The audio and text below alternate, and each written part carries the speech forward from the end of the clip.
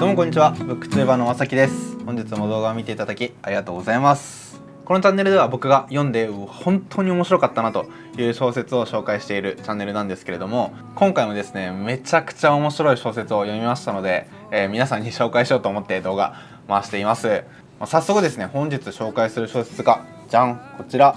米沢ほのぶさんの国老城です。こちらですねもう皆さんご存知かと思うんですが第166回の直木賞受賞作となります。直木賞以外にもこの作品いろんな賞をかっさらっていまして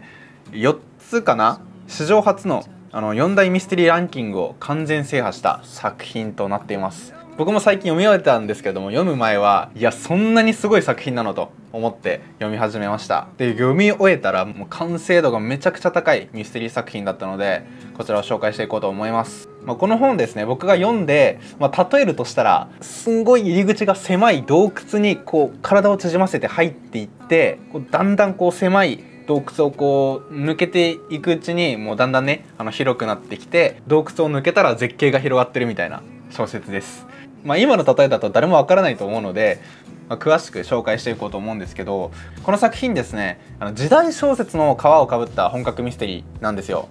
時代小説と聞くとですね、まあ、僕もそうだったんですけどすごい身構えちゃいませんか？いや僕もあの読む前はですね時代小説と本格ミステリーが融合した作品と有名になってた作品だったので、まあ、時代小説かと思って読んだんですけれどもこれは、まあ、正直に言うと難しかったですねあの時代小説ならではの難しさっていうのがあの最初読む時に感じまして僕自身もそうだったんですけど時代小説は読み慣れてない方は最初ちょっとあの取っかかりというかあの入り口がすごく、まあ、狭い小説だなと思いました。まあ、この作品のちゃんとしたあらすじを話していこうと思うんですけれどもこの作品は戦国時代を舞台とした作品となります、まあ、いろんなあの侍たちがですね領地を奪いに奪い合ってこう天下統一をしようとしている世の中のお話でまあ、時代的にはあの織田信長がこうだんだんこう勢力を広げ始めている時の時代のお話です、まあ、その時代に織田軍の軍勢に従っていた荒木村重という男がですね主人公なんですけれどもこの荒木村重が織田軍に反旗を翻して有岡城というね主人公の荒木村重が全ている城があるんですけどもその有岡城に立てこもるっていうところから物語が始まります。そんな村重が籠城している有岡城に織田軍のまあ、軍師である黒田官兵衛という男がやってくるんですよ。でその黒田官兵衛が村重に織田軍に勝てる見込みがないので、まあ、ぜひね降伏してくれと黒田官兵衛が荒木村重に中言するんですね。降伏するだなんてありえないと村重は怒って黒田官兵衛を牢屋にあの入れるんですよ。でそんな黒田官兵衛を牢屋に入れたまま村重はですねその有岡城に起こるさまざまな事件に遭遇するわけです。でそしてその城の中で起きる難事件に対する助言を求めるために黒田官兵衛に会いに行くっていうそういうお話ですね。今のあらすじの説明でもわちょっと戦国時代分かりませんっていう方いっぱいいると思うんですよね。僕も高校の時世界史取ってたんで日本史全く分かんなかったんですけど、まあ、そんなねあの日本史分かんない僕でも読み進めていくうちにだんだんこの時代小説という側面よりかは本格ミステリーの側面が強くなってくるのでだんだんと読みやすくはなっていきます。ここで一つこの小説のすっごい面白いところがあってあの今の現代を舞台としたミステリー小説の場合って大体その殺人事件から始まるじゃないですか。その人がねこう死んでしまって犯人はどういう犯行をしたのかっていうところからまあ、あのミステリーが始まると思うんですけどこの国老城はですね時が戦国時代なのであの人の生き死にっていうのがそこまであの重要ではないんですね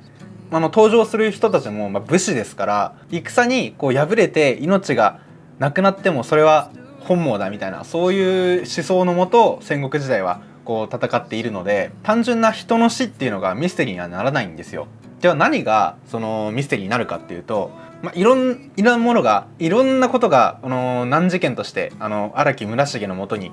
あの舞い込んでくるんですけど、まあ、例えばそのある戦において誰がどの大社を打ったかがわからないとかこの戦国時代という時代背景ならではのミステリーが繰り広げられていきます。これがむちゃくちゃ面白い。なかなかあの新鮮な気持ちで読むことができましたね。まあそんな世界観の中でも人が死ぬ系のミステリーも起こるんですけどこの戦国時代という時代ではただ単純な人の生き死にっていうのがミステリーにはなり得ないこと。そしてそれを踏まえた上で荒木村重が何に悩んでいるのかっていうのをぜひ楽しんでほしい あの作品となってます。なかなかあの新鮮な気持ちで読むことができましたね。まあ、なんですけど時代小説とミステリーを掛け合わせた時のいやすごい面白いところ今話したんですけどこれ逆に時代小説ならではのあまり時代小説読んでない人がとっつきづらい点が結構あってその一つがですね言葉遣いがちょっと慣れるのに時間がかかるってこととその時代時代のなんだろう常識とかもあるので、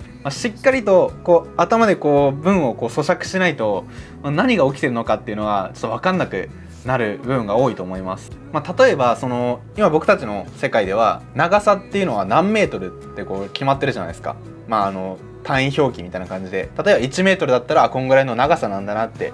僕たちでこう想像できると思うんですけどこの時代ならではの距離を測る寸法っていうのもありまして、まあ、それがね書かれてあるとちょっとした密室トリックみたいなのも出てくるんですよね。でその密室トリックのこうイメージができないというかまあ、そういうのもありまして僕はこう読んでる時に